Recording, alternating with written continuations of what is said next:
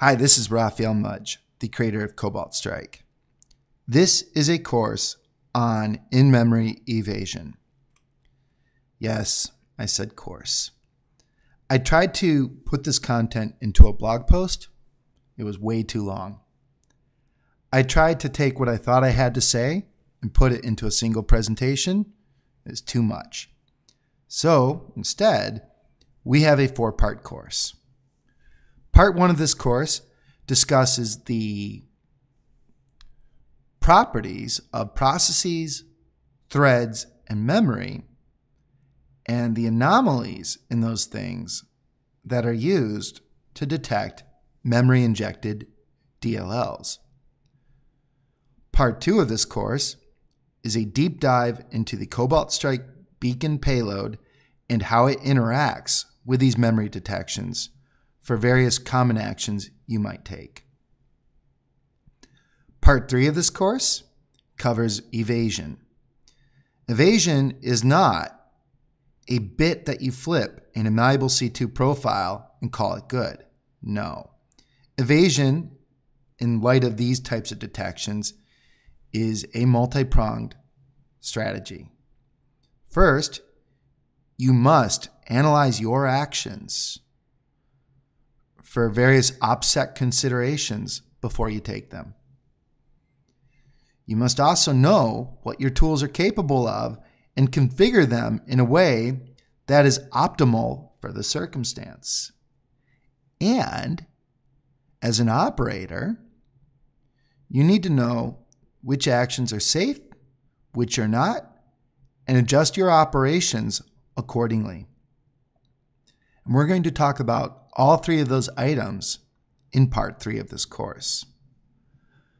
Finally, I'm a big believer that red teaming is not just hiding in a network for months trying to avoid getting caught, uh, but red teaming is also training analysts and dialing up the sophistication and dialing it back and supporting various kinds of storylines. We're going to talk about how to do that in memory when we discuss thread emulation in part four. So that's going to be a lot of fun too. I have three goals for this particular course. The first goal is to impart an understanding of how some blue teams detect payloads in memory today. I would also like to walk you through your options to challenge and defeat these detections. Finally, the most important part of this course, the longest lasting benefit of it, in my opinion, is I want to take you through how to evaluate your offense playbook against the detections presented here. But this mindset doesn't apply just to these detections. As new detections become known, I hope you will feel empowered after this course to evaluate your actions against those, those detections and adjust your operations accordingly.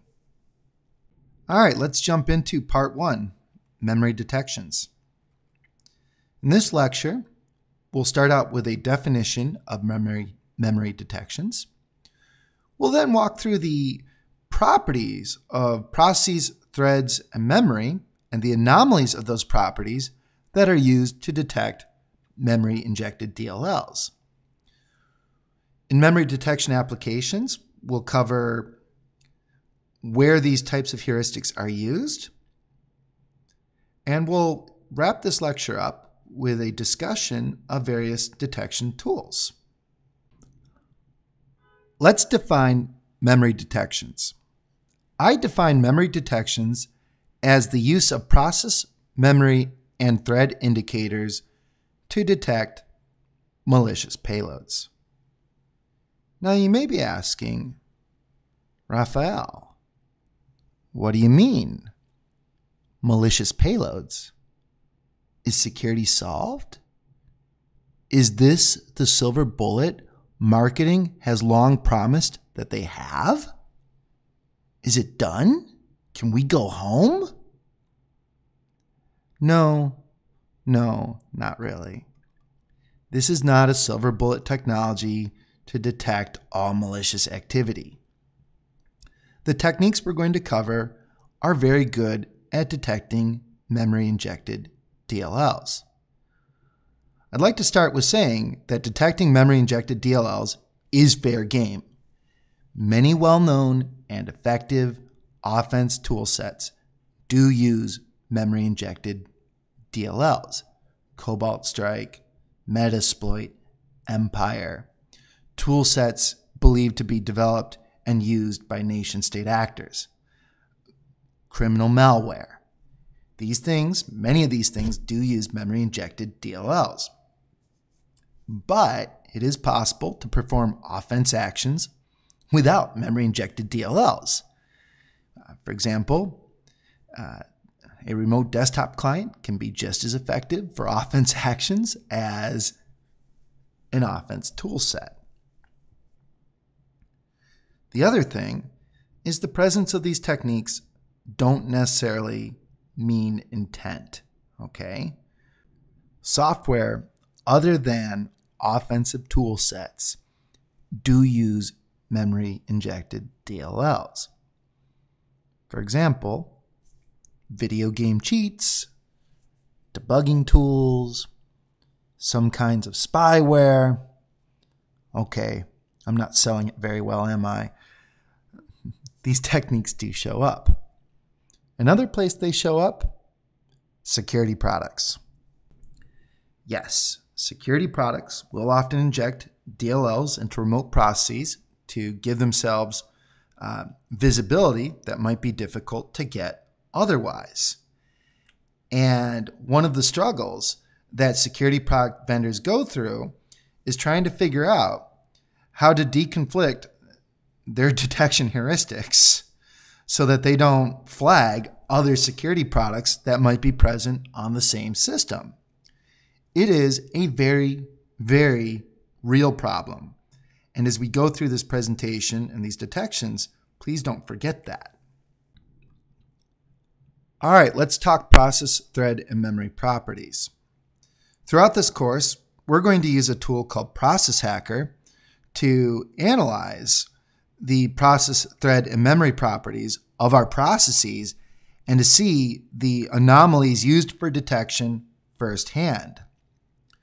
Process Hacker describes itself as a free, powerful, multi purpose tool that helps you monitor system resources, debug software, and detect malware. It's available at processhacker.sourceforge.net. All right, let's do a quick demonstration of Process Hacker. Here I am on a Windows 7 system. We're going to go into my nifty response folder. And I'm going to run Process Hacker as administrator. Let's go ahead and allow that to run. And here it is.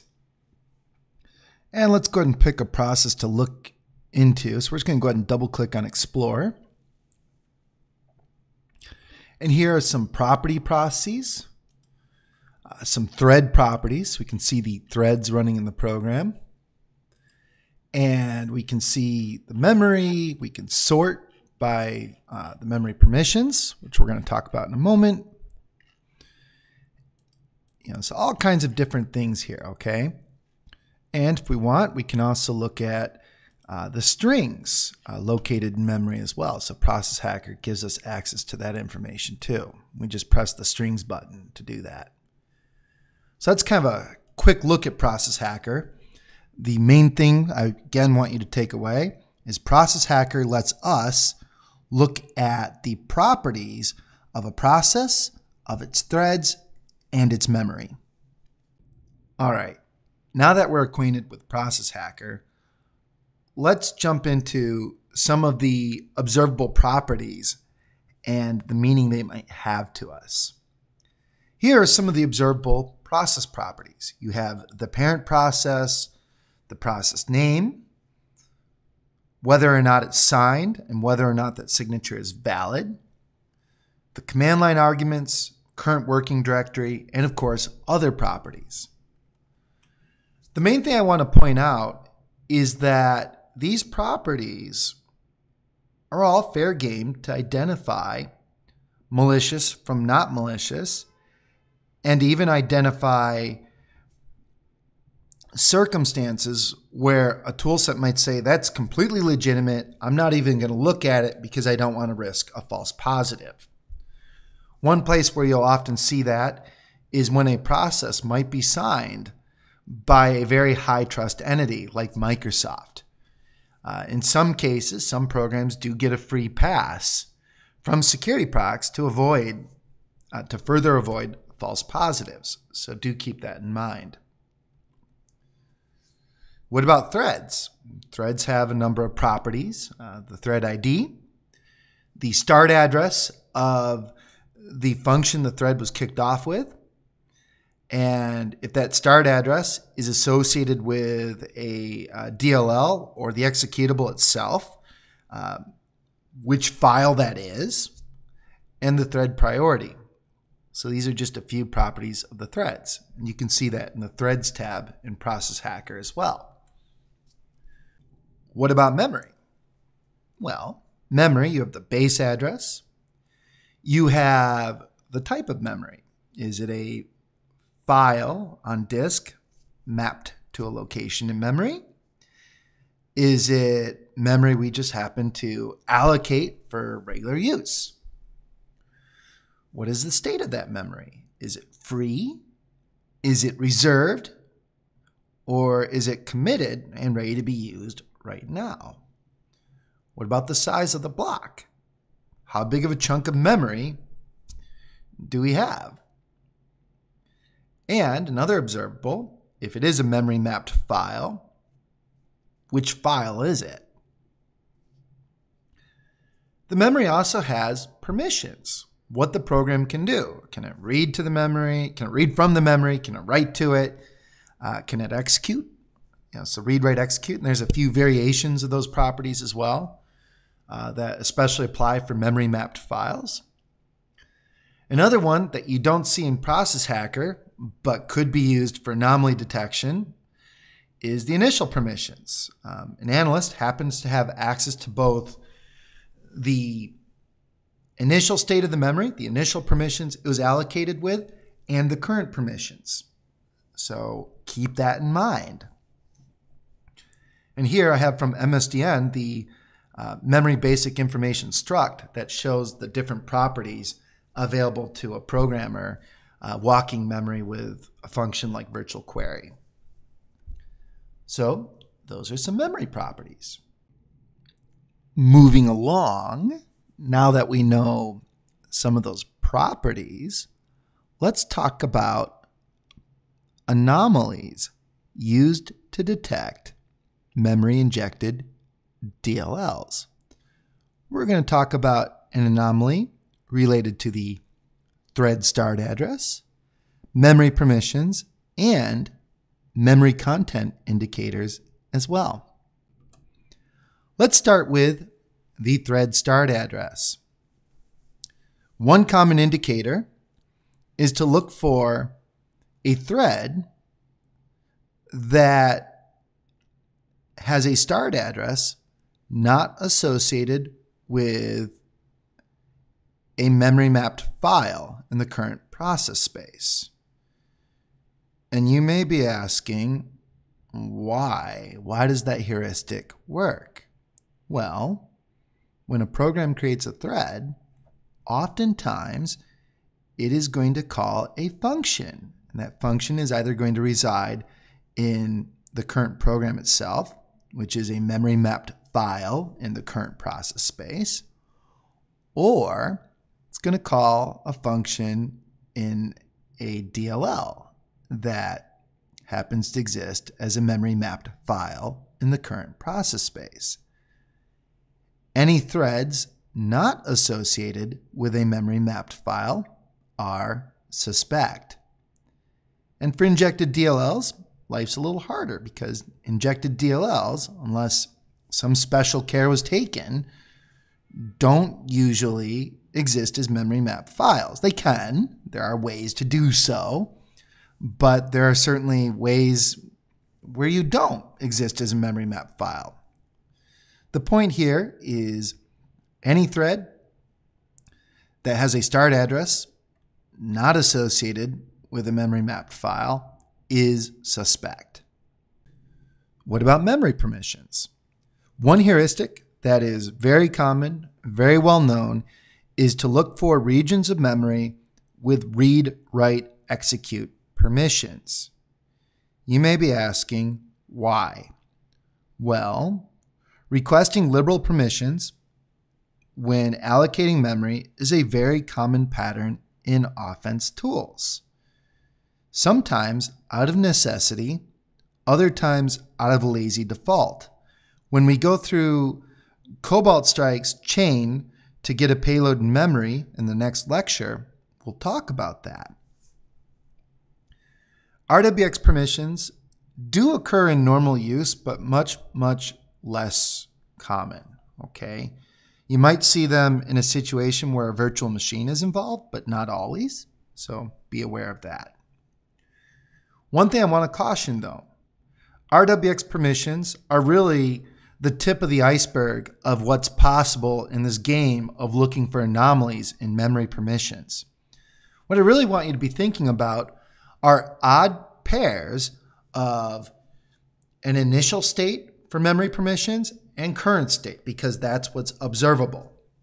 Some offense tool sets, even Cobalt Strike, have moved to allocating uh, read write memory, populating that memory with what needs to be there, and then switching it over to read execute.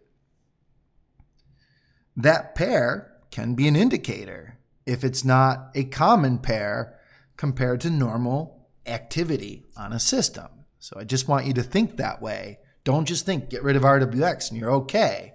No, the problem is anomalies in these particular pairs. But I'm a practical guy, and I will say if the defensive posture you're working with happens to focus just on RWX and your other allocation pairs are just fine, go to town. But be aware that when RWX stops working, vendors and analysts are going to start focusing on these pairs more for what that's worth. What about memory content? Well, there's two things you need to worry about here. The first is signs of a DLL or executable of a PE file in memory not associated with a module on disk. The other thing you need to worry about is strings or patterns associated with the tool set you're using. And you may be asking, okay, that's vague, Rafi. Um, what do you mean here?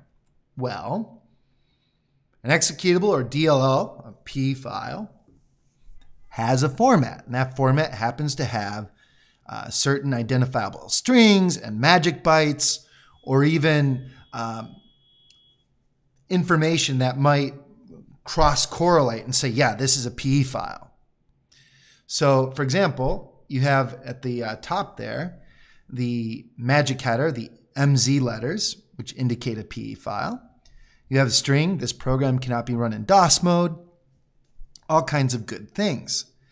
These are things that uh, some analysts and some software solutions do look at when walking through memory to identify a potential memory injected uh, executable or DLL file. So, want to emphasize these are indicators. These are things that are used to, in general, find memory injected files. What about known strings? Well, here's an example of a, set of Yara rules that pick up Cobalt Strike's beacon payload. Uh, these Yara rules were uh, written by uh, Florian Roth and they're available on his GitHub. And they were pulled from a report that was about documented misuse of Cobalt Strike's trial. So be aware, if you're a Cobalt Strike user, which I assume is many of you viewing this presentation, that there are known strings for your tool set. And those known strings can be indicators used to uh, detect or disrupt your activity. Now that we've covered these anomalies in processes, threads, and memory, let's take a look at what this looks like with Process Hacker and Cobalt Strike's beacon payload. Here we are with the Cobalt Strike trial in Kali Linux. I'm using the trial here because the trial happens to have different tells that play favorably to these detection heuristics. I do that on purpose. So if we go to attacks, packages, Windows executable, we're going to generate a 32-bit executable. And let's go ahead and host it. Attacks web drive by host file. Let's grab that artifact.exe. We'll save it as demo.exe. Why not? Stick it on the web server. And let's go over to our Windows 7 target.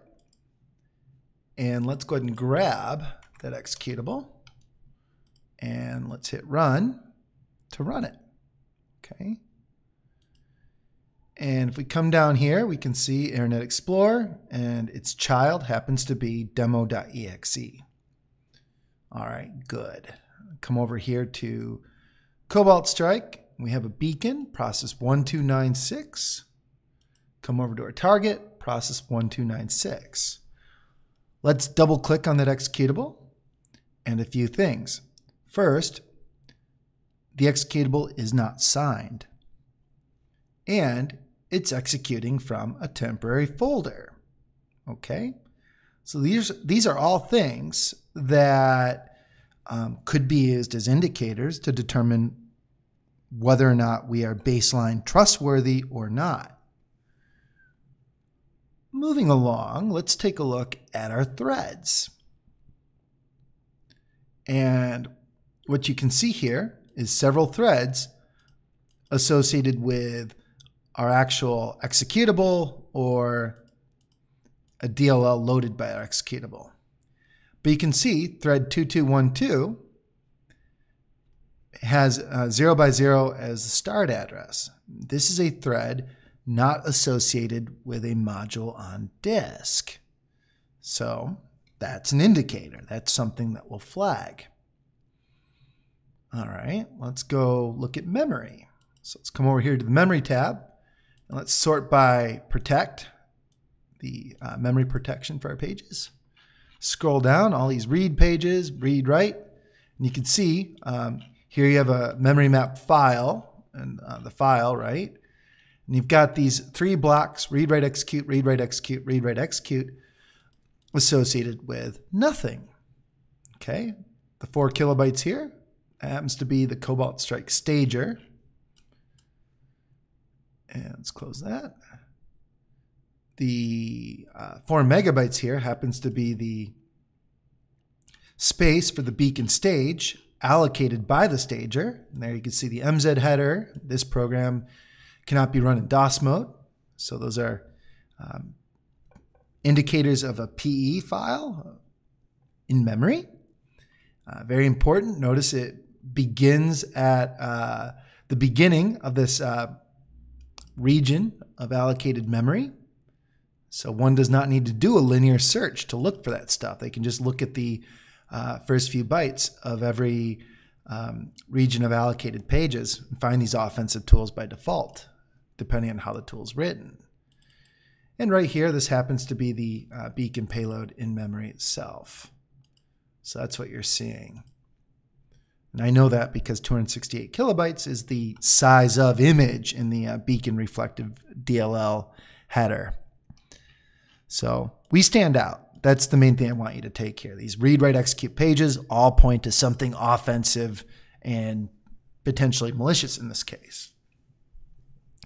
And I've also pointed out not just the these memory properties, but I've pointed out the um, content as well and how the content doesn't work for us. So that's how you use Process Hacker to look at these uh, these kinds of heuristics. We've gone through some of the heuristics. Let's talk about where they're applied and how. I'm going to talk about point in time analysis, and real time detection and prevention. Let's start with point in time analysis. Point in time analysis is what I most often associate with a hunt assessment.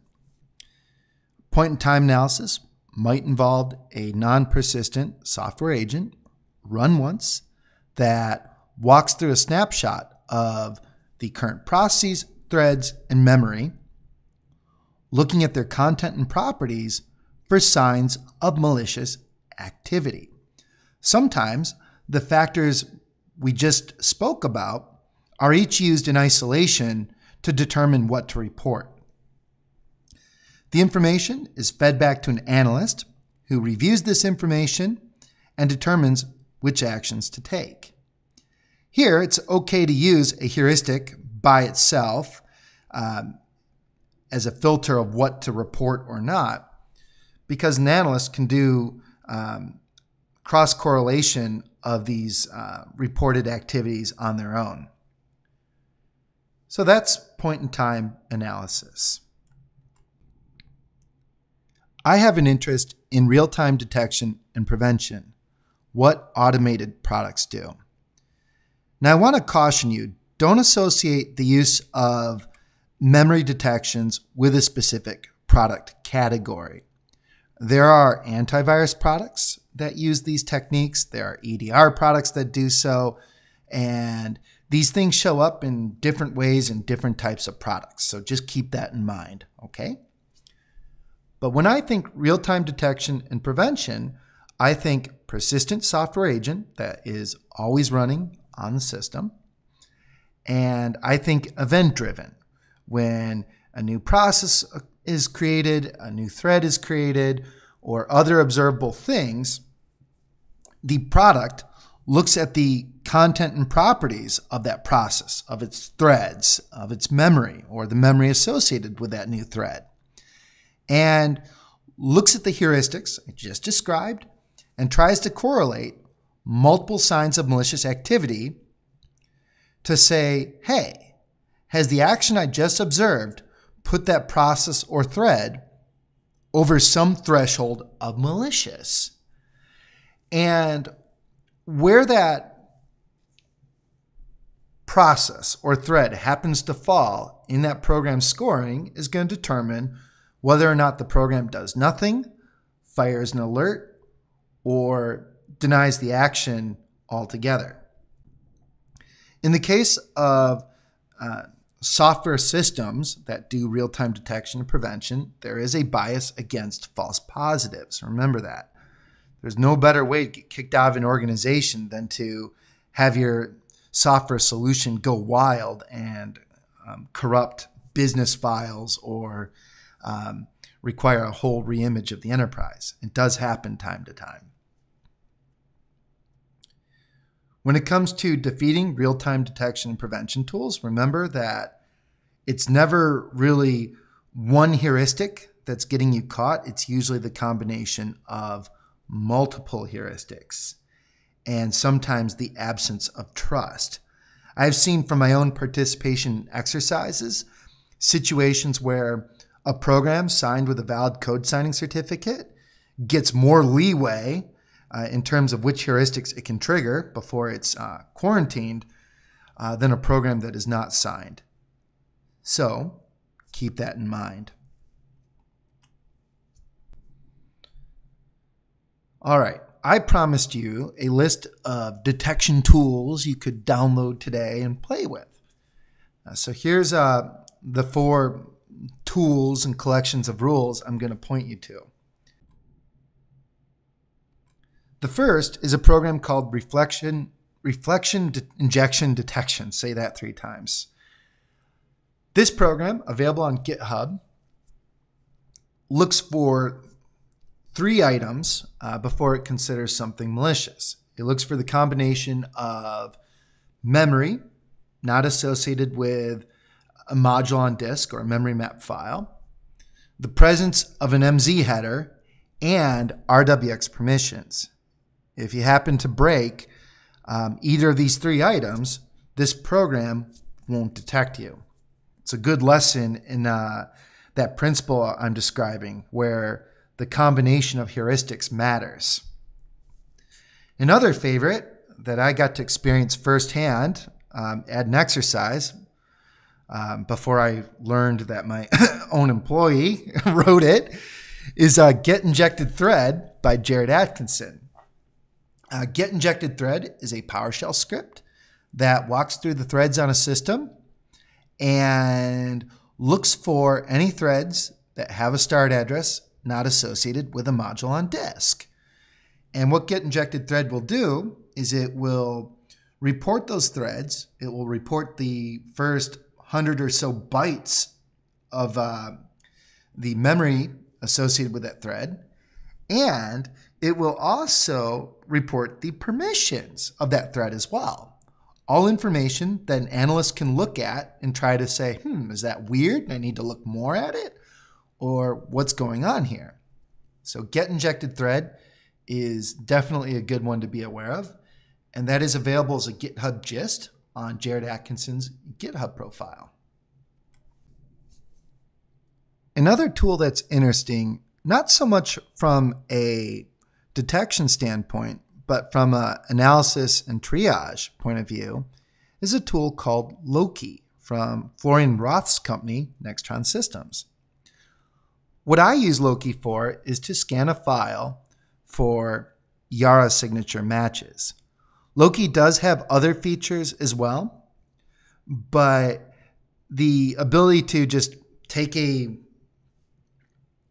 reflective DLL as is and see what uh, which signatures it triggers against, I personally find kind of valuable. You can also see the uh, Yara rules uh, used by Loki and one of uh, Nextron Systems commercial scanners, Spark, at the GitHub repository below. Nextron does have a uh, commercial scanner called Thor, which has a proprietary uh, rule base as well, if that kind of thing interests you. One thing, though, what I want you to think about uh, when thinking about this triage step, and in particular content for specific tools, is some of these heuristics, like looking for uh, threads with a start address that has certain memory permissions, or looking at threads that happen to not be associated with a module on disk, and looking for indicators of a PE file. Well, that information can lead to what an analyst needs to carve the actual DLL out of memory and start looking at its properties. So, one chain of heuristics you might see is a program looking for DLLs in memory and then applying these kinds of rules to determine what the DLL is, maybe even a security product, which might get a free pass. So, something to think about. Maybe you can make your DLL look like that security product. Hmm, kind of cool. Anyways, uh, in terms of rules uh, used to analyze uh, DLL files and determine what they are, this is a great GitHub collection. Uh, certainly worth your time to browse or grep through. Well, then, I think that was a fun introduction to in memory evasion. We started out with a definition for memory detections.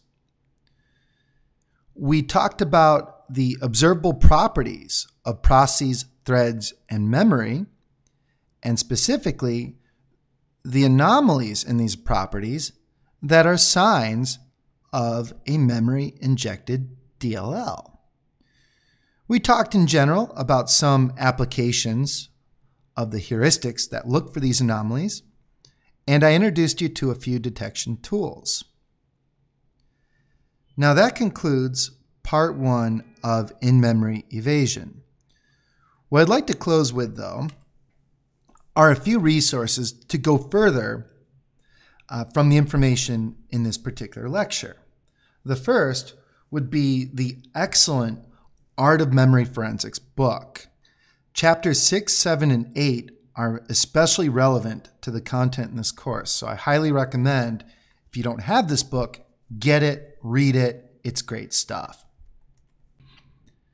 Another resource I'd like to direct you to is the Advanced Attack Detection presentation by two researchers from Countercept. Uh, this presentation walks through the Metasploit framework uh, with these particular heuristics and a trial copy of Cobalt Strike that these researchers requested and received. The presentation, the technical content is fantastic. It is well worth your time.